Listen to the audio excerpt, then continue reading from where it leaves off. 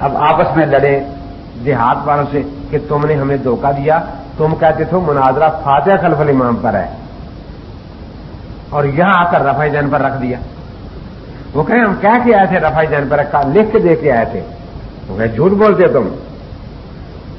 मैंने वो जो देहात वाले गए उनसे कहा कि ये आपकी उलमा है, आपको बात भूल गई होगी। आप शायद गलती से यही कहे हो, फातिहा में मुनाजा है। नहीं जी, हम रफा जैन पर क्या किया है? मैंने कहा, नहीं नहीं माँ तो झूठ नहीं बोलते ना। अब वो बैठे थे पास पास एक मौली साहब का थैला मैंने पकड़ लिया। मैंने कहा, देखो, ये गलती से रफाई जैन के रिसाले आ गए मैं घर से वैसे ये फाते पर मुनाजरा करने आए हैं। तो चूँकि किताबें ने खुद नहीं डाली, बीवी से कहा था, उसने रफाई जैन की डाल दी। अब वो, अब देखो देखो रफाई जैन के रिसाले कैसे हम रफाई जैन में मुनाजरा करनी है। मैंने दूसरे मौली साहब का थैला उठाया। मैंने कहा, ये भी किताबें बीवी ने डाली है साहब ने डाली, गलती से रफाई जैन की डाल दी है। बड़े परेशान। अब कहें कि, देखो जी, मैंने कहा अच्छा मैं आपके सुलह करा देता हूँ। जी, कैसे? मैंने कहा, चलो, आज फाते खत्म पर मुनाजरा हो जाए। ठीक है जी। अब वो मौलवियों से पूछे कि हाँ जी, करो, नहीं भी हम तो नहीं करते। वो तुम तो कहते हम तैयार होके आएँगे फातिहा, कल फल इमाम पर। कहते, नहीं, हम नहीं करते। एक आ गया। क्या शोर मचा हुआ सुबह से? एक मिनट में फैसला हो जाएगा, एक मिनट में। बैकी उठा के खड़ा हो गया। अब बकर सिद्दीक भी रफाई जैन करते थे। अल्लाह के नबी भी करते थे। दो लड़के मेरे पास बैठे थे, मैंने उनके कान पर थोड़ी सी फूक मार दी। वो बैठे थे। मैंने कहा, इसमें रावी इबन जुरैज है? सनद में, कि जी हाँ है? यही है ना जिसने मक्का में रहकर नब्बे औरतों से मुता की थी। वही है ना। जब मैंने ये कहा तो वो जिन लड़कों के कान पर मैंने दाम के तो खड़े हो गए। जी नब्बे औरतों से मुता की थी, मैंने कहा हाँ कि भाई फिर हमें तो सिर्फ़ दो ही दे दो, मुता के लिए हम रफा देना शुरू कर देते हैं। हमें तो सिर्फ़ दो दो ही दे दो, हम रफा देना शुरू कर देते हैं। वो बैठी फेंक के भाग गया आकर लिख कर दिया उन्होंने कि आज हमारी तैयारी नहीं थी। हमें हुक्म भी मालूम नहीं हो सका कि रफा का क्या है। इसलिए हम तैयारी करके फिर भरपूर मुनाजरा करेंगे और वो आज तक तैयारी नहीं बेचारे तो इनमें शोर ज़्यादा होता है और कुछ नहीं होता बेचारे। इसलिए मैं कहा करता हूँ कि दुनिया में उस फिरके से ज़्यादा बुजदिल फिरका कोई नहीं जो प्राइमरी स्कूल के मास्टर से डरता हो।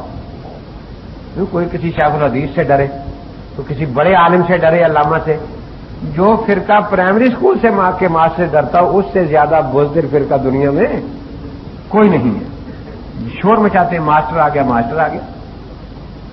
तो इसलिए मसला जो है, मैंने बताया कि नमाज़ सीखनी है और तीन बातें हर जगह पूछनी है।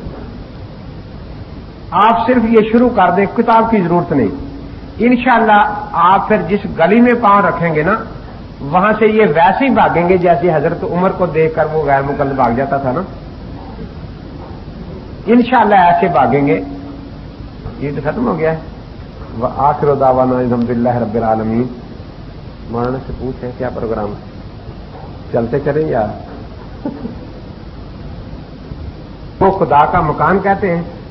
मैं जब उमरे पर जा रहा था ना, उमरे से, मक्का मुकरमा से मदीना मनवरा तो दो बैठ गए शैतान।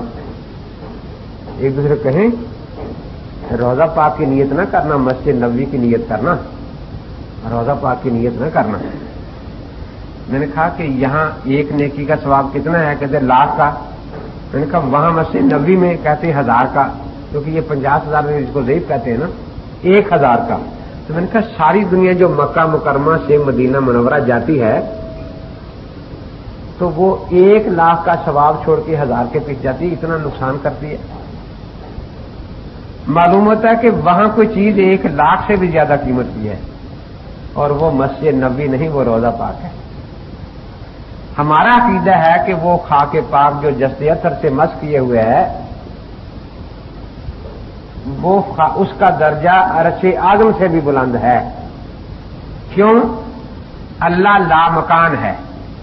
अगर खुदा का कोई मकान होता तो हम खुदा के मकान को बाकी मकानों पर ज़्यादा अफजल समझते। मकान वालों में हज़रत पाक से ज़्यादा कोई अफजल नहीं, इसलिए हज़रत पाक के मकान से कोई चीज़ अफजल नहीं। जैसे कहता है अर रहमान और अर्शी तवा ये क्या मतलब है? अल्लाह ताला अर्श खुदा का मकान है हाँ कुरान कहता है, मैंने कहा मकान हमेशा मकीन से बड़ा होता है। मकान हमेशा मकीन से बड़ा होता है। तो फिर ये नमाज़ में अल्लाह होकर क्यों कहते हो? अल अर्श अकबर कहा करो। क्योंकि अल्लाह से बड़ी चीज़ मिल गई है ना कोई? हमारे यहाँ तो अल्लाह से बड़ी कोई चीज़ नहीं है ना, अल्लाह ही बड़ा है। हम तो अल्लाह अकबर कहते हैं नमाज़ में हर जगह। तुम कहा करो, अल अर्श अकबर। क्योंकि अल्लाह से भी एक बड़ी चीज़ इस पर ऐसे खामोश हुए। कि मैं मुलजम में हाथ लगाए हुए थे, चमटा हुआ था। तो मुझे शुरते ने पीछे खींच दिया। मैं पीछे हट गया, पहला दिन था। लोग चमट गए। फिर मैंने कहा, अगले दिन फिर मैं चिमटा, मुझे खेचने लगा। तो मैं नहीं, फिर उतने में काफ़ी आदमी मेरे ऊपर आ गए। अब मुझे भी पहले दिन का गुस्सा था थोड़ा सा तो मैंने ऊँची ऊँची दुआ मांगनी शुरू की, अल्लाह मनी असल कब मोहम्मद नबी का व नजीय का व रसूल का व हबीब का। शिरक। लैसा बिशिरक तवसल शिरक। लैसा बिशिरक तवसल तवसल बिल अमाल, ला बिजवात। अमाल महबूब, ला जवात महबूब। युहिब हम व युहिबून हूँ जवात, ला अमाल। इस आयत में तो जवात मराद है ना युहिब हम व युहिबून हूँ मैंने कहा, जवात, ला अमाल। देखे मेरी तरफ़। मैंने कहा भाई अमल तवसल सल्ले रका तहने सुम्मा तवसल। मैंने कहा अर रका तहने मिन मिस्र कल जाहले हब्बा इल्लाह मिन नबी सल्लल्लाहु अलैहि वसल्लम कि हमारी दो रखते हजूर पाक से ज़्यादा महबूब है अल्लाह को कि हमारी दो रखते तो वसीला बन सकती और अल्लाह के नबी पाक वसीला नहीं बन सकते आराम से परी तरह चला गया फिर वो मेरे करीब नहीं आया तो इनका तरीका है इस किस्म की बातें आजकल छेड़ते हैं मौलाना जा रहे हैं पूछने के क्या प्रोग्राम है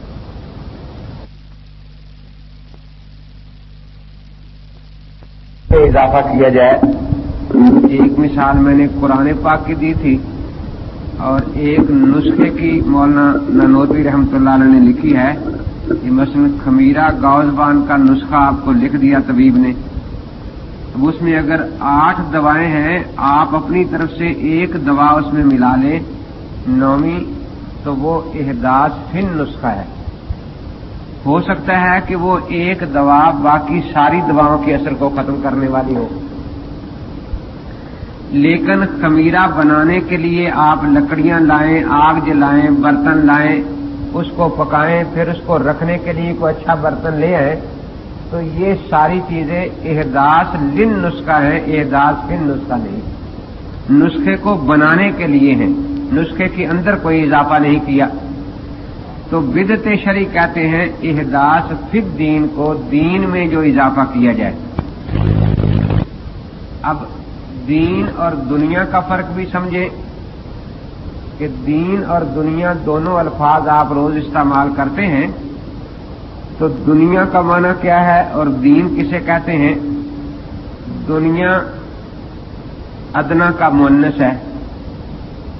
इसके बिल मुकाबल उखरा है। यानी जैसे एक दरिया हो तो इस तरफ़ वाला जो किनारा है, ये दुनिया कहलाएगा परली तरफ़ वाला उखरा कहलाएगा।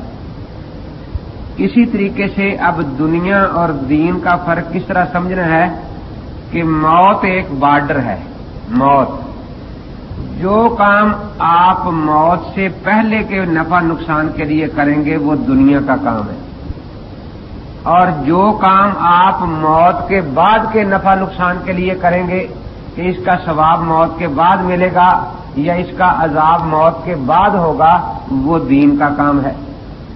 मसलन आप खाना खाते हैं, गाड़ी लेते हैं, साइकिल ले लेते हैं, ये चीज़ें मौत से पहले पहले हमें फ़ायदा देती हैं।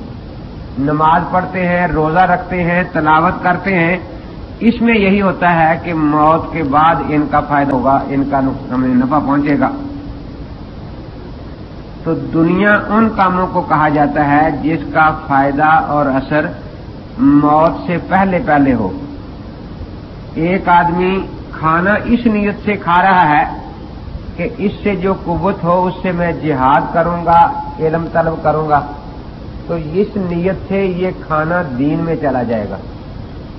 और एक आदमी कुरान पाक इस नीयत से पढ़ रहा है कि सामने के मकान पर कोई लड़की आए और मैं उसको देखूँ, मेरी आवाज़ सुनकर। तो अगरचे ये कुरान पढ़ रहा है, लेकिन खालिश दुनिया है, ये दीन नहीं है। तो इसलिए दीन और दुनिया का फ़र्क समझे, ताकि बिदत के बारे में वादे बात देन में आ जाए। इसलिए ईद मिलादन नबी को बिदत कहा जाता है, यौम इकबाल को बिदत कोई नहीं कहता। क्योंकि ईद मिलादुल नबी मनाने वालों का जहन ये होता है कि इसका हमें आखिरत में कोई सवाब मिलेगा। अल्लाह के यहाँ यौम इकबाल मनाने वाले जो हैं, वो यही है कि डीसी खुश हो जाएगा, हुकूमत खुश होकर हमें कुछ ठेका वगैरह दे देगी। तो यौम इकबाल को अगर हम नाजायज कहेंगे तो किसी और वजह से कहेंगे, बस उसमें फजूल खर्ची है, या किसी का हक दबा दिया गया, नाजायज आदमी हक ले गया लेकिन बिदत कहकर उसको हम नाजायज नहीं कहेंगे। और ईद मिलाद नबी वालों का चूँकि ये इतकाद होता है कि इसका अजर और सवाब हमें मौत के बाद मिलना है, इसलिए यो इसको दीन का काम समझते हैं। तो दीन का ऐसा काम जो दीन में साबित न हो और उसको दीन समझा जाए, उसको बिदत कहते हैं। तो दो बातें तो सुबह मैंने अर्ज़ कर दी थी कि बिदत के लिए एहदास होना शर्त है, वो नया काम हो। इस्तंबा, फिका इस्तंबात है, ये बिदत नहीं। सूफिया कराम के जो मशागल है, उनका भी तजर्बा है। ये जैसे मसन आप नूरानी कायदा पढ़ते हैं तो बिस्मिल्लाह करते हैं हिजे शुरू हो जाते हैं।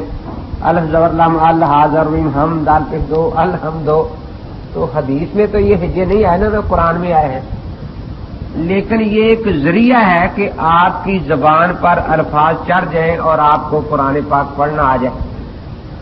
तो अगरचे ये तरीका हदीस में नहीं, लेकिन इसको एहदास लिद्दीन कहा जाएगा। एहदास फिद्दीन नहीं कहा जाएगा। इसी तरह सूफिया कराम जो ज़िक्र करवाते हैं, ला इलाहा इल्लल्लाह इल्लल्लाह इल्लल्लाह, अल्लाह अल्लाह अल्लाह हु ये इसी तरह हिजे कर लिए गए हैं ताकि ज़िक्र दिल में जम जाए। जिस तरह हम नूरानी कायदा हिजे से करके पढ़ते हैं ना, ताकि जबान पर अल्फाज चढ़ जाए, इसी तरीके से ये ज़िक्र के सूफिया कराम ने तजर्बा किया है कि इस तरह हिजे करके ज़िक्र कर लिया जाए तो दिल में ज़िक्र जम जाता है। तो इसलिए सूफिया कराम के ये जो मशागिल हैं, ये बिदत नहीं है। एहदास फिर दीन नहीं है, एहदास लिद दीन है। तो मन आहदसा फ़ी अमरे ना हाजा। ये दो बातें हो गई कि विदत वो है जो बिल्कुल नई चीज़ हो, एहदास हो। और एहदास भी दीन के अंदर हो। दीन के लिए अगर है वो वास्ता और ज़रिया है। देखिए ना, जो पैदल हज करने जाएगा, फिर भी हज के अरकान इतने रहेंगे। जो बस पर जाएगा, फिर भी हज तो उतना ही होगा ना। जो हवाई जहाज़ पर जाएगा, हज फिर भी उतना ही है ना। तो हवाई सवारी के बदलने से, वसीले के बदलने से मकसद में कोई तब्दीली नहीं आई। तो ये अच्छी तरह समझे कि बिदत का ताल्लुक मकासद के साथ है वसाइल के साथ नहीं। वसाइल हर जमाने में बदलते रहते हैं। अब आपने ज़िक्र करना है, तस्वीर हाथ में पकड़ ली। तो ये तस्वीर जो है, ये एहदास लिद दीन है, एहदास फिर दीन नहीं है। इसलिए शरफ ना पढ़ना ये फिकी किताबें मुरतब करना या अशगाल सूफिया कराम के जो हैं, ये इस मद में नहीं आते कि इनको बिदात कहा जाए। आगे है, मा लैसा मिन हो, यानी जो दीन में साबित न हो। इसमें आमतौर पर एक गलती हमारे हजरात भी कर रहे हैं वायजीन हजरात, कि जी, जो चीज़ कुरान हदीस में ना हो, वो बिदत है। जो चीज़ कुरान हदीस में ना हो, वो बिदत है। ये तारीफ़ गलत है। माल ऐसा मिल हो का मतलब ये है कि जो दीन में ना हो, और दीन के चार दलाल है, किताब, सुन्नत, इजमा, क्यास। तो जो चारों में से किसी से साबित ना उसको बिदत कहा जाएगा। असल ये है कि जो दलील दीन से साबित जो बात ना हो, अब जो अपने आप को अहले कुरान कहता है, वो कहता है, मैं सिर्फ़ एक दलील मानता हूँ कुरान पाक। तो वो कहेगा, जो मसला कुरान में नहीं, वो बिदत है। क्योंकि उसके नज़दीक वो दीन से साबित नहीं हुआ ना। गैर मुकल कहता है, मैं दो दलीलें मानता हूँ, कुरान और हदीस। इसलिए ये तारीफ़ उसकी है कि जो कुरान और हदीस में नहीं, वो बिदत है। लेकिन अहले सुनत वल जमात ये तारीफ़ नहीं करते। वो कहते हैं कि हमारे दलाल शरिया चार हैं। किताब, सुन्नत, इजमा और क्यास। इसलिए चारों दलीलों में से किसी दलील से भी जो मसला साबित ना होगा, उसको हम बिदत कहेंगे। तो ये गैर मुकलदों से सुनकर कहते हैं कि जी, कुरान हदीस से अगर साबित नहीं तो बिदत है, ये बात गलत है। चारों दलीलों से जो चीज़ साबित ना हो, उसको बिदत कहा जाता है। तो बिदत की तारीफ़ मैंने आपके सामने अर्ज़ कर दी। इसमें तीन ही बुनियादी बातें हैं। मन आहदसा में एहदास आ गया, नई बात हो। फ़ी अमरे ना, अमरे दीन में हो, बस बना लेना, हवाई जहाज़ बना लेना, साइकिल बना लेना, ये दुनियावी चीज़ें हैं। इसका बिदत के साथ कोई ताल्लुक नहीं। और दीन के भी अंदर इजाफा हो, दीन के लिए ना हो तो अंदर इजाफा जो है, उसको बिदत कहा जाएगा। जो दीन के लिए है, वो बिदत नहीं। और फिर ये कि दीन का मसला चार दलीलों से साबित है। चारों में से किसी से साबित न हो, उसको हम बिदत कहेंगे। जो चारों में से किसी से साबित है, उसको हम बिदत नहीं कहेंगे। तो गुमराही के दो ही असूल मैंने अर्ज़ किए। असल बात जो अर्ज़ करनी थी, छोटे तलबा भी आ गए, शायद उनकी समझे ना। असूल हदीस के बारे में अर्ज़ करना था कि ये दो वाली जो मैंने बात शुरू की थी ना, इस बारे में समझे अगर यही याद हो जाए तो बहुत सी बातें कायदे के तहत आ जाती हैं। हज़रत मौलाना मोहम्मद कासिम साहब नानोतवी रहमत फरमाते हैं कि अल्लाह तबारक व ताला की सारी सिफात जो है, उसकी बुनियाद दो बातें हैं, मोहब्बत और हकूमत। कौन कौन सी? मोहब्बत और सिफ्त मोहब्बत की तजल्ली उस जगह पर है जहाँ खाना काबा शरीफ है। अल्लाह की सिफ्त, मोहब्बत की तजल्ली कहाँ है? जहाँ खाना काबा शरीफ है। और सिफत हुकूमत की तजल्ली कहाँ है? जहाँ बैतुल मुकद्दस है। जहाँ बैतुल मुकद्दस है। इसलिए खाना काबा शरीफ अल्लाह ताला का दीवान खास है। बैतुल मुकद्दस दीवान आम है। मैदान क्यामत को भी तख्ती अदालत वहीं बिछाया जाएगा जहाँ आज बैतुल मुकद्दस है। वहाँ जितने नबी अल्लाह ने भेजे, उनको बादशाहत भी दी।